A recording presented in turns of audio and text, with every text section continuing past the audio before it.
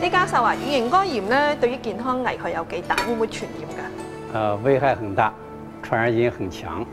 一旦感染這種病毒，它這種病毒在體內長期存在，如果不積極治療，那麼有急性的可以轉成慢性的肝炎，有慢性肝炎可以轉成肝硬化，有肝硬化可以轉成肝癌，最後死亡。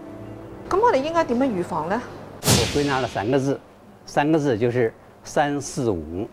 三是就是三早，就是早发现、早诊断、早治疗，这是三。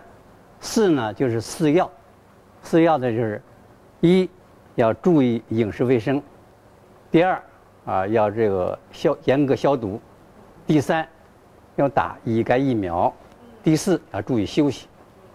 五呢是五忌，五忌就是五个字，一个是酒，要忌酒，肝炎不能喝酒；第二呢要忌肉，啊瘦肉可以吃，不能吃肥肉；第三呢辛就是辛辣；第四就是气，气就是生气，肝炎不要生气；第五呢忌房事。靚妹小錦囊好介绍，咁啊兩味三支湯咧就係大枣、茵陳、楊樹枝、柳樹枝、槐樹枝，咁啊各五钱，五碗水煲埋一碗，連續飲五日，咁就可以治療同埋預防肝炎噶啦。